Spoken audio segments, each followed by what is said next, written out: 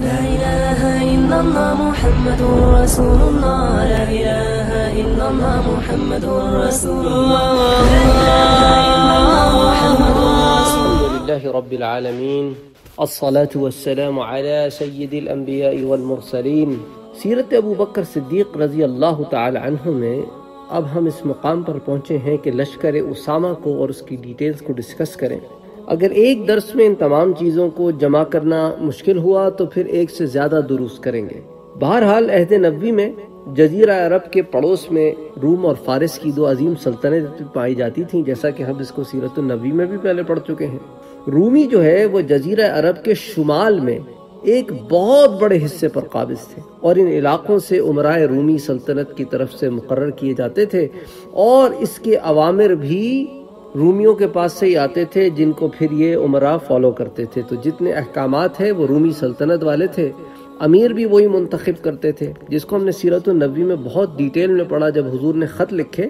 تو جن عمراء کی طرف لکھے، جو رومی سلطنت کے انڈر تھے، تو وہ ہر چیز کے لیے رومیوں کی طرف ہی لوگ اپٹو کرتے تھے۔ اچھا حضور نے ان علاقوں میں مبلغین اور فوجی دستوں کو روانہ فرمایا اور اور دہیا کلبی رضی اللہ تعالی عنہ کے ذریعے سے شاہ روم ہرقل کو خط بھی بھیجا، جس میں اس کو اسلام قبول کرنے کی دعوت دی گئی تھی۔ اس کا ذکر میں آپ سے سیرت النبی میں بھی کر چکا ہوں اور آپ کو اس پہ البخاری، بخاری شریف میں بھی اس زمن میں واقعات مل جائیں گے۔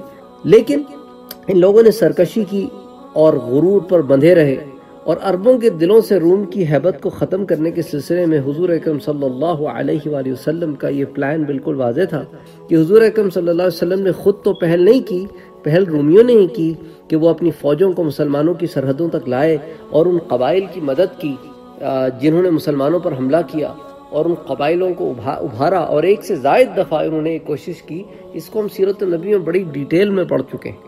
اور پے در پہ ان کی یہ کوششیں چلتی رہیں اور اسی ضمن میں حضرت اسامہ بن زید رضی اللہ تعالیٰ عنہ کو بھیجا جا رہا تھا تاکہ وہ ایک سٹیٹمنٹ اس حکومت کی طرف سے جو اسلامی حکومت قائم ہوئی تھی مدینہ میں اور عرب کے دیگر علاقوں میں پھیل چکی تھی، وہاں سے ایک سٹیٹمنٹ رومیوں کو پہنچنی ضروری تھی کہ بس اب بہت ہو گیا۔ اب یہ جو آپ لوگ پیچھے سے پش کرتے ہو ان عمرہ کو جو ہماری بارڈرز پر ہیں اور وہ ہر آئے گئے دن ہمیں آنکھ دکھاتے رہتے ہیں، تو ہم نے تو آپ کے ساتھ ایسا کوئی معاملہ نہیں رکھا۔ آپ پیچھے سے سارے کام کرتے رہتے ہیں، کبھی سامنے بھی آتے ہیں، کبھی ان کی ہیلپ بھی کرتے ہیں، کبھی خود بھی آ جاتے ہیں۔ اسی زمین میں مورکہ موتا بھی پیش آیا، جس کو ہم نے بڑی تفصیل میں ذکر کیا آپ کے سامنے۔ عرب کے نصرانیوں اور رومیوں سے ایک دفعہ پھر ٹکر لی گئی اس زمین میں، اور پہل انہوں نے کی تھی۔ اس زمین میں حضرت زید بن حارثہ رضی اللہ تعالیٰ عنہ، حضرت جعفر بن ابی طالب، حضرت عبداللہ بن رواحہ، یہ تمام جید صحابہ شہید ہوئے اور آخر سیف اللہ خالد ابن ولید نے اسلامی فوج کی قیادت سنبھالی اور انہیں اللہ کے حکم سے بچا کر مدینہ لے آئے۔ تو نو ہجری میں حضور نے ایک بڑی فوج لے کر شام کا رخ کیا اور مقام تبوک تک پہنچے، جس کو ہم بڑی تفصیل میں دیکھ چکے ہیں۔ اچھا اسلامی فوج کی رومیوں اور عرب قبائل کے ساتھ مٹ بھیڑ نہیں ہوئی اور ان علاقوں کی عمرہ اور حکام نے جزیے کی ادائیگی کے پر مصالحت کو ترجیح دی اور اسلامی فوج تبوک سے بیس دن قیام کر کے پھر مدینہ واپس ہو گئی۔ اور گیارہ ہجری میں رسول اکرم صلی اللہ علیہ وسلم نے بلقہ جس کو آپ سمجھ لیں کہ آج کل کے زمانے میں اردن اور فلسطین کا یہ جو علاقہ ہے نا، تو یہاں پہ بلقہ اور فلسطین ان جگہوں پہ رومیوں پر چڑھائی کرنے کے لیے لوگوں کو تیار کیا۔ ان میں کبار مہاجرین و انصار صحابہ شریک ہوئے اور ان پر حضرت اسامہ بن زید کو حضور نے امیر مقرر فرمایا۔ حافظ ابن حجر رحمت اللہ علیہ فرماتے ہیں کہ لشکر اسامہ کی تیاری رسول اکرم صلی اللہ علیہ وآلہ وسلم کی وفات سے دو روز قبل بروز ہفتہ مکمل ہوئی اور اس کا آغاز آپ کی بیماری سے قبل ہو چکا تھا۔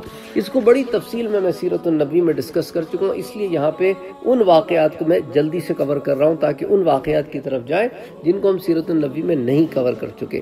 تو بہرحال آپ نے ماہ سفر کے اواخر میں جنگ کی تیاری کا حکم دیا، اسامہ کو بلایا اور فرمایا کہ اپنے والد کی شہادت کا گاہ کی طرف روانہ ہو جاؤ۔ میں نے تم کو اس لشکر کا امیر مقرر کیا ہے۔ بعض لوگوں کو اسامہ کی عمارت پر اعتراض پیدا ہوا۔ تو رسول اکرم صلی اللہ علیہ وآلہ وسلم نے ان کے اعتراض کا جواب دیتے ہوئے فرمایا، اگر آج تم اسامہ کی عمارت پر اعتراض کرتے ہو، تو اس سے پہلے اس کی باپ زید کی عمارت پر بھی تمہارا اعتراض تھا۔ اللہ کی قسم، وہ عمارت کے قابل تھے اور میرے نزدیک محبوب ترین لوگوں میں سے تھے۔ اور اس کے بعد یہ اسامہ بھی میرے نزدیک محبوب ترین لوگوں میں سے ہیں۔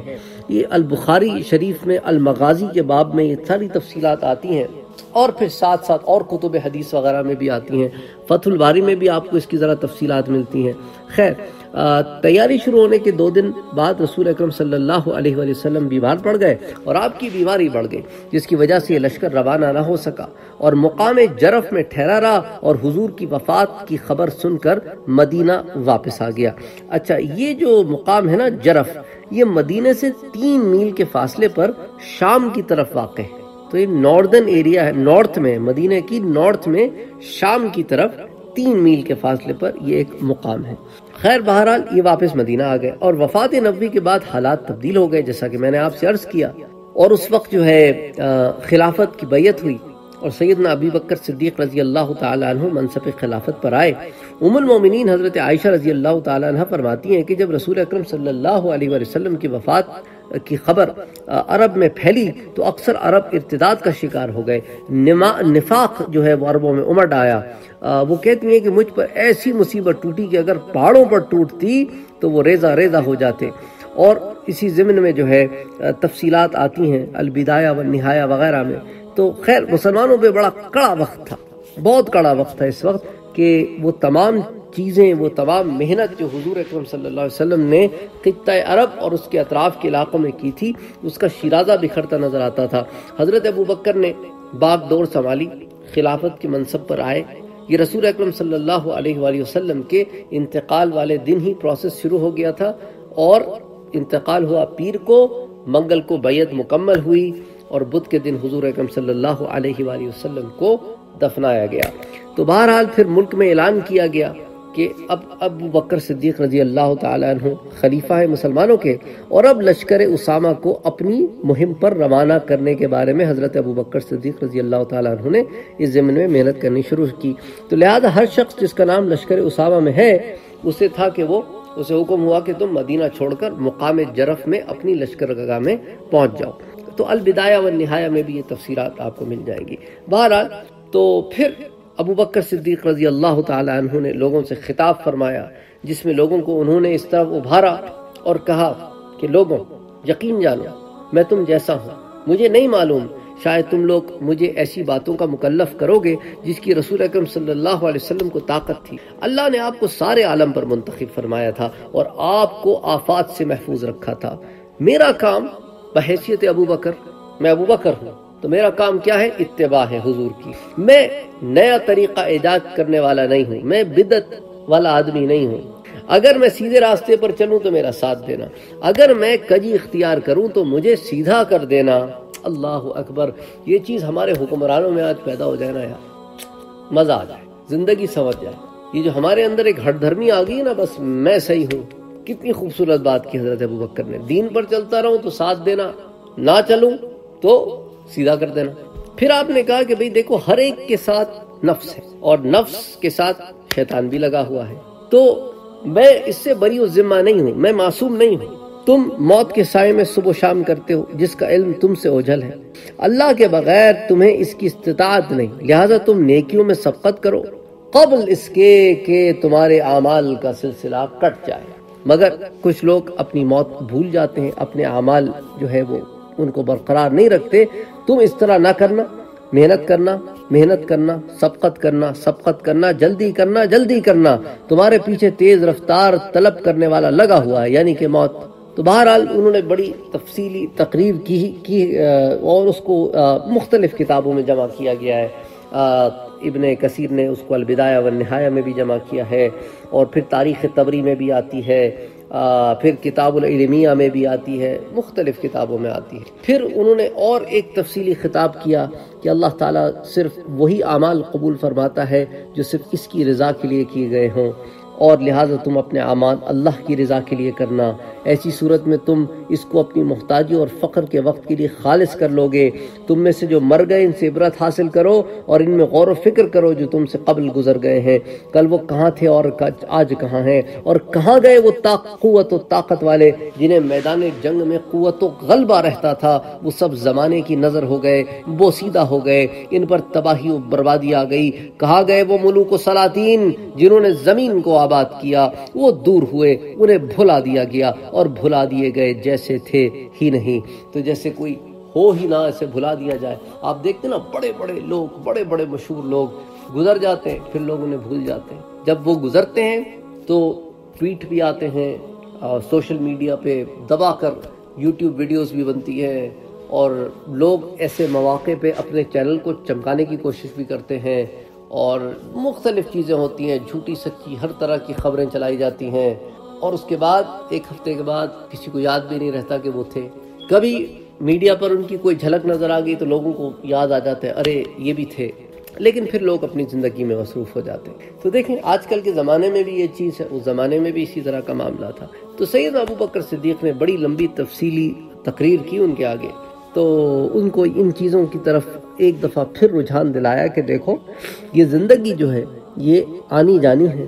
تم نے فیصلہ یہ کرنا ہے کہ تم نے اس سے کیا کمانا ہے۔ اور دیکھیں نا، اس پہ قرآن کی جو آیت ہے سورہ مریم کی، وہ بھی دلالت کرتی ہے۔ سورہ مریم کی یہ آیہ نمبر نائنٹی ایٹ ہے۔ وَكَمْ أَهْلَكْنَا قَبْلَهُمْ مِنْ قَرْنٍ۔ ہم نے ان سے پہلے بہت سی جماعتیں تباہ کر دی ہیں۔ هَلْ تَحِسُ، هَلْ تُحِسُ مِنْهُمْ مِنْ أَحَدٍ کیا ان میں سے کسی ایک کی بھی آہٹ کو یہ پاتے ہیں؟ او تسمع لهم رکزا یا ان کی آواز کی بھنک بھی ان کے کانوں میں پڑتی نہیں پڑتی۔ بڑی بڑی قومیں ختم ہو گئیں، کسی کو پتہ بھی نہیں۔ موئن جداڑو حرپ ہڑپا، بڑے بڑے نام، پتہ نہیں کتنی پرانی تہذیبیں ہزاروں سال پرانی تہذیبیں دنیا میں پتہ جن تہذیبوں کا چلا ہے، ان میں سب سے قدیم ترین تہذیبیں کون سی ہیں؟ موئن جداڑو ہڑپا۔ لیکن کیا، کدھر، کون؟ کسی کو نہیں معلوم۔ ایک ان پر بھی زمانہ تھا، کبھی وہ بھی بادشاہ تھے، امیر تھے، اب کچھ پتہ نہیں۔ تو یہ زندگی کا سائیکل ہے۔ اسی کی طرف حضرت ابو بکر صدیق نے اپنی اس طویل تقریر میں لوگوں کو توجہ دلائی۔ اس خطبے کے دوران مختلف دروس و عبر دیے گئے تاکہ لوگوں کے اندر ایک کانسنٹریشن پیدا ہو کہ یہ جو زندگی ہے آنی جانی ہے اور ہماری کانسنٹریشن کیا ہونی چاہیے؟ اللہ اور اس کے رسول کی اتباع۔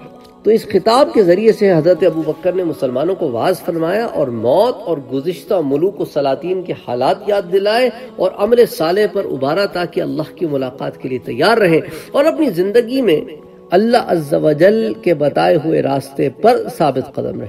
اچھا اب جب یہ لشکر اسامہ جو ہے، اس کو تیاری کا معاملہ پیش آیا، تو حضرت ابو بکر صدیق رضی اللہ تعالیٰ عنہ کے سامنے بعض صحابہ نے پھر اپنی رائے پیش کرتے ہوئے کہا کہ آپ کو معلوم ہے کہ اکثر مسلمان اور عرب آپ کے خلاف اٹھ کھڑے ہوئے ہیں۔ لہٰذا یہ مناسب نہیں ہے کہ ایک اتنی بڑی جماعت کو ہم مدینے سے جدا کر کے اس طرف بھیج دیں۔ البدایہ و نہایہ میں بھی اس کی تفصیل آتی ہے۔ اچھا حضرت اور حضرت اسامہ نے جرف میں اپنی لشکر گاہ میں سے عمر بن خطاب کو ابو بکر کے پاس لوگوں کے ساتھ مدینہ لوٹ آنے کی اجازت طلب کرنے کے لیے بھیجا اور کہا، میرے ساتھ مسلم قائدین اور ان کی اکثریت موجود ہے اور مجھے خلیفت رسول اللہ صلی اللہ علیہ وآلہ وسلم اور مسلمانوں کے سلسلے میں مشرقین سے خطرہ لاحق ہے۔ لیکن ابو بکر صدیق رضی اللہ تعالیٰ عنہ نے اس کی مخالفت کی اور لشکر اسامہ کو شام کی مہم پر روانہ کرنے کے سلسلے میں اپنے موقف پر وہ مصر ہیں اچھا اسامہ رضی اللہ تعالیٰ عنہ اور دیگر قائدین جنگ خلیفہ کی اپنی رائے پر اسرار سے مطمئن نہ ہوئے اور متعدد طریقوں سے انہوں نے کوشش کی کہ خلیفہ اپنی رائے بدل دے۔ جب خلیفہ سے اس طرح کے مطالبات بڑھ گئے تو آپ نے اس موضوع پر بحث و گفتگو کے لیے مہاجرین و انصار کی عام مجلس بلائی اور اس اجتماع میں مختلف پہلوؤں سے اس موضوع پر طویل گفتگو ہوئی۔ لشکر اسامہ کی روانگی کے سب سے بڑے مخالف حضرت عمر ابن خطاب تھے۔ کیونکہ وہ ایسی صورت میں خلیفہ، ازواج متحرات مدینہ اور اس کے باشندگان کے لیے سخت خطرہ محسوس کر رہے تھے کہ کہیں مشرقین اور مرتدین مدینے پر نہ چڑھ دوڑیں کہ مدینے سے اتنی بڑی جماعت تو شام گئی ہوئی ہے۔ یہ ساؤتھ سے حملہ نہ کرتے۔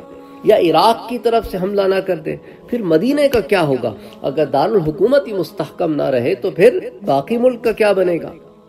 تو اس لیے حضرت عمر رضی اللہ تعالیٰ عنہ اس بات کے خلاف تھے کہ اسامہ کو بھیجا جائے۔ تو جب صحابہ میں سے کبار عمائدین نے اس سلسلے میں خلیفہ پر زور دیا اور ان عظیم خطرات کا خوف دلایا جو لشکر اسامہ کی روانگی سے پیدا ہو سکتے تھے، تو آپ نے لوگوں کے مشورے سنے، انہیں اپنی بات مکمل کرنے کا موقع دیا، ان سے وضاحت طلب کی، پھر آخر میں آپ نے مجلس برخاست کرنے کا حکم دے دیا۔ پھر مسجد میں دوسرا عام اجتماع منعقد کیا اور اس میں صحابہ سے مطالبہ کیا۔ کہ وہ اس مہم کے عدم نفاس کو بھول جائیں جسے رسول اکرم صلی اللہ علیہ وآلہ وسلم نے خود تیار کیا ہے اور انہیں آپ نے خبر دی کہ اس منصوبے پر ہر صورت میں عمل ہوگا، کیونکہ یہ حضور کا فیصلہ تھا اور ابو بکر کی یہ طاقت اور مجال نہیں ہے کہ وہ حضور کے کیے ہوئے فیصلے پر کسی بھی طرح سے واپس لوٹے۔ آپ نے صحابہ کو خطاب کرتے ہوئے فرمایا، اس ذات کی قسم جس کے قبضے میں ابو بکر کی جان ہے، اگر مجھے یہ یقین ہو کہ مجھے درندے نوچ کر کھائیں گے، مدینے کی گلیوں میں مجھے درندے نوچ کر کھائیں گے، مجھے اس بات کا یقین بھی ہو، تو بھی میں لشکر اسامہ کو بھیج کر رہوں گا، کیونکہ یہ میرے پاک نبی کا حکم ہے۔ اگر بستی میں میرے سوا کوئی بھی باقی نہ رہے، تب بھی میں اس کو ضرور نافذ کروں گا۔ تو سیدنا ابو بکر صدیق رضی اللہ تعالیٰ عنہ کے یہ الفاظ تاریخ تبری میں بھی موجود ہیں اور آپ کے اس خطاب کے بارے میں اور کتابوں میں بھی آتا ہے۔ تو لشکر اسامہ حضور اکرم صلی اللہ علیہ وآلہ وسلم کا حکم تھا اور یہی وجہ تھی کہ سیدنا ابو بکر صدیق رضی اللہ تعالی عنہ اس قدر عظم کے اوپر اس بات پر ڈٹے ہوئے تھے۔ انصار کا مطالبہ تھا کہ اسامہ سے زیادہ عمر والے کسی شخص کو امیر الجیش یعنی کہ اس فوج کا بڑا بنایا جائے۔ انہوں نے حضرت عمر کو اس سلسلے میں ابو بکر سے بات کرنے کے لیے روانہ کیا۔ حضرت عمر نے آپ سے عرض کیا کہ انصار اسامہ سے زیادہ عمر والے شخص کو امیر الجیش مقرر کرنے کا مطالبہ کر رہے ہیں۔ آپ بیٹھے ہوئے تھے، اٹھ کھڑے ہوئے، اور حضرت عمر کی داڑھی پکڑ لی اور فرمایا، خطاب کے بیٹے، یا ابن خطابن اسامہ کو اللہ کے رسول نے امیر مقرر فرمایا ہے، تم مجھے حکم دے رہے ہو کہ اسے معذول کر دوں، جو میرے پاک نبی نے حکم دیا ہے۔ اللہ اکبر۔ اب آپ یہ دیکھیں کہ جہاں کسی کی نظر نہیں گئی وہاں صدیق اکبر کی نظر ہے۔ اس لیے صحابہ کرام کیا کہتے تھے کہ اللہ نے ہمارے دنیا کے لیے بھی اسی کو چنا ہے، جس کے لیے ہمارے دین کو چنا۔ تو اللہ کے فیصلے ہوتے ہیں۔ اللہ ہر کام بڑی حکمت سے کرتے ہیں۔ بے شک سیدنا ابو بکر صدیق رضی اللہ تعالی عنہ وہ بہترین آدمی تھے جو خلیفت رسول اللہ صلی اللہ علیہ وسلم کے منصب پر بیٹھ سکتے تھے۔ خیر، بہرحال حضرت عمر وہاں سے نکل کر لوگوں کے باز آئے اور لوگوں نے دریافت کیا کیا ہوا؟ فرمایا، چلے جاؤ، تمہاری مائیں تمہیں گم پائیں۔ تمہارے سلسلے میں میں خلیفت رسول اللہ کے پاس گیا اور انہوں نے میرے ساتھ وہ کہا کہ میں اب اپنے کہے پہ نادم ہوں کہ میں نے ابو بکر سے کیا بات کہہ دی۔ پھر ابو بکر نکلے اور لشکر کے پاس پہنچے۔ ان کو روانہ کیا اور الوداع کہنے کے لیے ان کے ساتھ چلے۔ اسامہ سوار تھے اور آپ پیدل چل رہے تھے اور عبد الرحمن ابن عوف آپ کی سواری لے کر چل رہے تھے۔ اسامہ نے عرض کیا کہ خلیفۃ رسول اللہ، یا تو آپ سوار ہو جائیں ورنہ میں اتر جاتا ہوں۔ آپ نے فرمایا، واللہ نہیں۔ آپ سواری سے نہیں اتریں گے اور نہ میں سوار سوار ہوں گا۔ اس میں کوئی حرج نہیں کہ میں اپنے قدم اللہ کی راہ میں گرد آلودہ کروں۔ تو آپ یہ دیکھیں کہ کس قدر توازو ہے تذرع ہے۔ اب آپ یہ دیکھیں، تاریخ تبری میں بھی اس واقعے کو نقل کیا گیا ہے۔ پھر ابو بکر نے اسامہ سے کہا، اگر آپ مناسب سمجھیں تو عمر کو میرے تعاون کے لیے چھوڑ جائیں۔ اسامہ نے عمر کو اجازت دے دی۔ تو پھر آپ فوج کی طرف متوجہ اور فرمایا، لوگوں، ٹھہرو۔ میں تمہیں دس باتوں کی وسیعت کرتا ہوں۔ اسے یاد کر لو، خیانت نہ کرنا۔ کس کو کہہ رہے ہیں؟ فوج کو کہہ رہے ہیں۔ ٹھیک ہے؟ آپ ذرا صحابہ کرام کی فوج دیکھیں اور آج کی کسی بھی ملک کی فوج دیکھ لیں۔ ان دس باتوں میں ان فوجیوں کو دیکھیں۔ کیا وہ ان کوڈ اتنے شدید کوڈ آف کنڈکٹ کے بعد ان دس کی دس باتوں پر اترتے؟ ہیں صحابہ کرام کی جماعت ہے جس کو حضرت ابو بکر وسیعت کر رہے ہیں، دیکھو، خیانت نہ کرنا مال غنیمت مت چھپانا، غداری نہ کرنا، لاشوں کو تباہ نہ کرنا، ان کا مسئلہ نہ بنانا، پھلدار درخت کو مت کاٹنا، بکری، گائے، اونٹ کو مت ذبح کرنا، مگر یہ کہ کھانے کی ضرورت ہو۔ ایسا نہ ہو کہ دشمن کی ریوڑ ہاتھ لگے تو چلو دشمن کو اقتصادی اکنامک نقصان پہنچاتے ہیں، ان کے جانور کاٹ دیے تم نے۔ نہ، ایسے نہ کرنا۔ اللہ یہ کہ کھانے کی ضرورت ہو۔ اور ان قریب ایسے لوگوں کے پاس سے تمہارا گزر ہوگا جو گرجا گھروں میں مشغول عبادت ہوں گے، ان کو ان حالت پر چھوڑ دینا۔ اللہ اکبر۔ یعنی ایسے لوگوں پر سے گزر ہوگا جو اپنی اپنی عبادت گاہوں میں عبادت کر رہے ہوں گے۔ تو دیکھو، عبادت کرنے والوں کو عبادت میں چھوڑ دینا، ان سے کسی بھی قسم کی زور زبردستی نہیں کرنا۔ اور ان قریب تمہارا گزر ایسے لوگوں کے پاس سے ہوگا جو تمہارے سامنے ہر قسم کے کھانے پیش کریں گے۔ اس میں سے جو چیز بھی کھاؤ، اس پر بسم اللہ کہو۔ اور تمہیں ایسے لوگ ملیں گے جو اپنے سر کے بال درمیان سے صاف کیے ہوئے ہوں گے اور چاروں طرف بال چھوڑے ہوں گے، جیسے اس پر پٹی بندی ہوئی ہو۔ ان کو تلوار سے اڑا دینا، اللہ کا نام لے کر روانہ ہو جاؤ۔ تو یہ حضرت ابو بکر صدیق رضی اللہ تعالیٰ عنہ نے اپنی فوج سے کہا، تاریخ تبری میں موجود ہے اور آپ نے اسامہ کو رسول اکرم صلی اللہ علیہ وآلہ وسلم کے عوامر کو نافذ کرنے کی وصیت فرمائی۔ فرمایا، تم وہی کرنا جس کا حکم تمہیں اللہ کے رسول نے دیا ہے۔ خدا کے علاقے سے شروع کرو پھر آبل پہنچو۔ اور رسول اکرم صلی اللہ علیہ وسلم کی کسی حکم میں کوتاہی ہرگز نہیں کرنا۔ اور جس عہد میں تاریخ تاخیر ہو گئی ہے، جلد بازی مت کرنا۔ اسامہ اپنے لشکر لے کر روانہ ہوئے اور خدا کے قبائل میں پہنچے۔ جیسا کہ انہوں نے کہا تھا، خدا کے قبائل میں پہنچنا۔ اچھا یہ جو آبل ہے نا، پھر انہوں نے کہا نا، خدا کے علاقے سے شروع کرو، پھر آبل پہنچو۔ تو اردن کے جنوب میں ایک دن کے فاصلے پر جنوب میں ساؤتھ میں، اردن کے ساؤتھ میں، ایک دن کے فاصلے پر یہ جگہ ہے، آبل، وہاں پر پہنچنے کا کہا انہوں نے اچھا۔ تو اسامہ روانہ ہوئے، خدا کے قبائل میں پہنچے۔ جہاں رسول اکرم صلی اللہ علیہ وسلم نے شہ سواروں کو پھیلا دینے کا حکم دیا تھا، آپ کے حکم کے مطابق آبل پر حملہ کیا، فتح یاب ہوئے اور مال غنیمت حاصل کیا۔ اس مہم پر آنے جانے میں کوئی چالیس روز لگ گئے۔ تو تاریخ تبری میں اور تاریخ خلیفہ بن خیات میں مختلف کتابوں میں ان ان واقعات کا تفصیل ذکر ہے۔ ہرقل کو رسول اکرم صلی اللہ علیہ وآلہ وسلم کی وفات اور اسامہ کے حملے کی خبر ایک ساتھ پہنچی۔ رومی کہنے لگے، یہ کیسے لوگ ہیں؟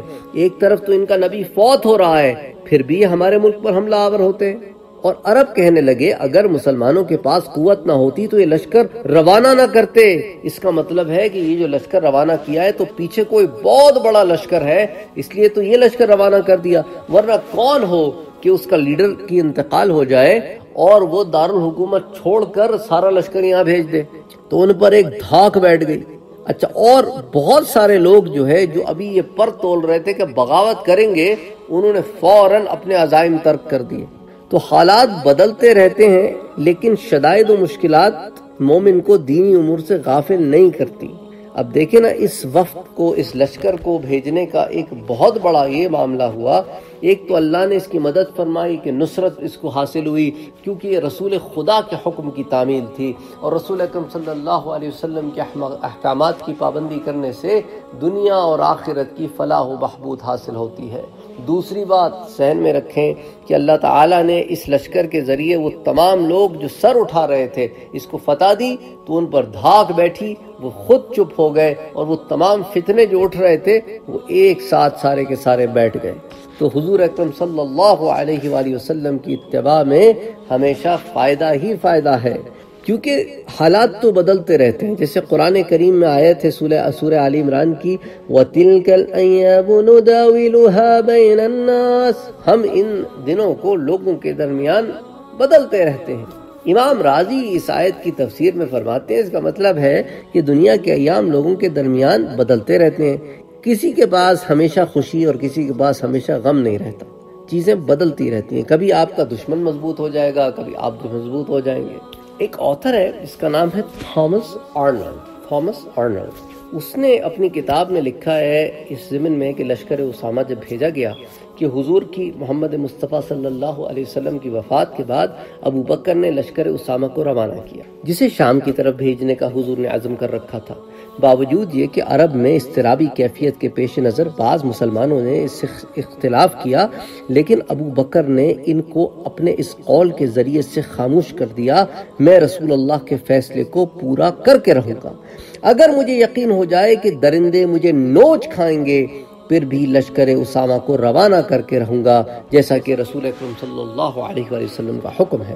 تو اس بات کو سب نے اپنی تاریخ کی کتابوں میں بھی لکھا۔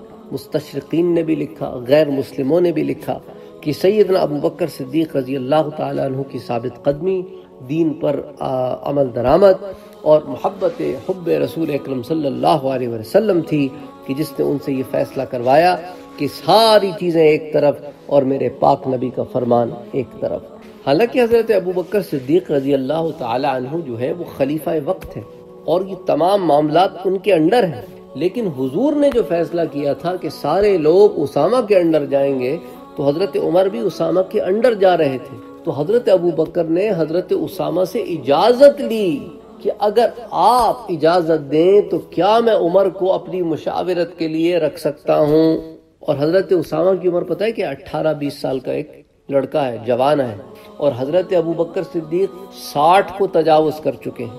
اس کے باوجود وہ حضرت اسامہ سے اجازت لے رہے ہیں کیونکہ وہ امیر لشکر ہیں اور ان کی نامزدگی حضور نے کی ہے۔ تو جس کی نامزدگی حضور نے کی ہے، اس کی تعظیم حضرت ابو بکر خلیفہ ہونے کے باوجود کیسے کر رہے ہیں کہ اسامہ گھوڑے پہ چل رہے ہیں، ابو بکر ساتھ پیدل چل رہے ہیں۔ اور اسامہ کہتے ہیں، آپ سوار ہو جائیں، کہتے ہیں، میں سوار نہیں ہوں گا۔ کہتے ہیں، میں اتر جاتا ہوں، کہتے ہیں، آپ نے اترنا بھی نہیں ہے۔ اللہ اکبر، ساتھ نصیحتیں بھی کر رہے ہیں اور ساتھ یہ درخواست بھی کر رہے ہیں۔ تو کتنا آپ کو اس سے کتنے سبق ملتے ہیں؟ ایک چھوٹا سا واقعہ ہے، لیکن اس کے اندر ہمارے لیے بے شمار سبق ہے۔ تو اب اس کا فائدہ کیا ہوا؟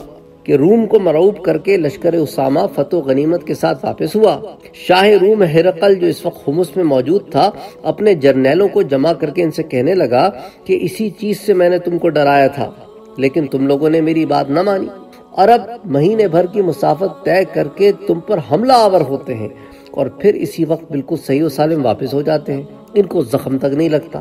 ہرقل کا بھائی تھا یناف۔ اس نے کہا، فوج بھیجیے جو بلقا یعنی اردن میں ڈٹ جائے اور حدود کی حفاظت کرے۔ اس نے ایسا ہی کیا، فوج روانہ کی۔ ان پر اپنے ایک ساتھی کو امیر بھی مقرر کیا اور یہ فوج وہاں مقیم رہی۔ یہاں تک کہ حضرت ابو بکر اور حضرت عمر کی خلافت میں اسلامی فوجیں شام کی طرف آگے بڑھ جیسا کہ المغازی میں اور طبقات ابن سعد میں آتا ہے۔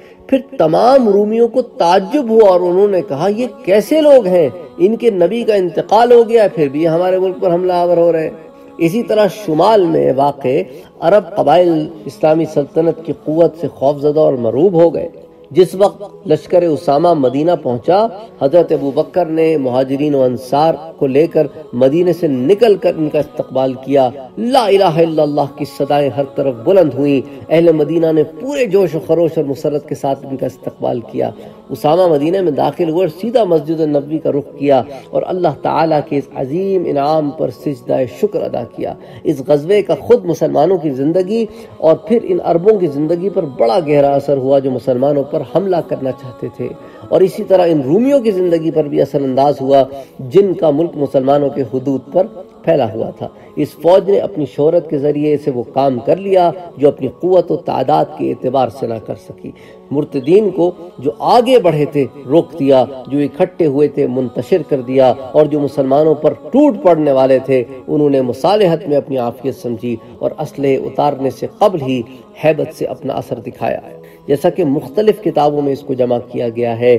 المغازی میں، طبقات ابن سعد میں، تہذیب ابن عساکر میں تاریخ ابن عساکر میں، تاریخ الدعوہ الاسلام میں الصدیق اس، اسی طرح عبقری الصدیق للعقاد میں، حرکت الردہ میں، بہت ساری کتابیں ہیں جس کے اندر ان تفصیلات کو جمع کیا گیا ہے۔ تو بہرحال کئی کتابیں ہیں جن کا مطالعہ کیا جا سکتا ہے، جن میں آپ کو یہ تفصیلات مل جائیں گی۔ تو یقیناً اس فوج کی اپنی مہم پر روانگی مسلمانوں کے لیے ایک بہت بڑی نعمت ثابت ہوئی۔ شمال میں ارتداد تمام محاذوں میں کمزور ترین ہو گیا اور شاید اس کا اثر یہ ہوا کہ مسلمانوں کا فتوحات کے وقت اس محاذ کو توڑنا عراق میں دشمن کے محاذ کو توڑنے کی بنسبت زیادہ آسان ثابت ہوا۔ انشاءاللہ تعالی، پھر سیرت ابو بکر صدیق رضی اللہ تعالی عنہ کو اگلے درس میں آگے لے کر چلیں گے اور کچھ اور حالات اور واقعات آپ کے سامنے پیش کریں گے۔ وما علینا الا البلاغ۔ ہمارے چینل کو سبسکرائب کرنا نہ بھولیں اور بیل کے آئیکن پر کلک کریں تاکہ آپ کو ریگولر نوٹیفیکیشن اپڈیٹس مل سکیں۔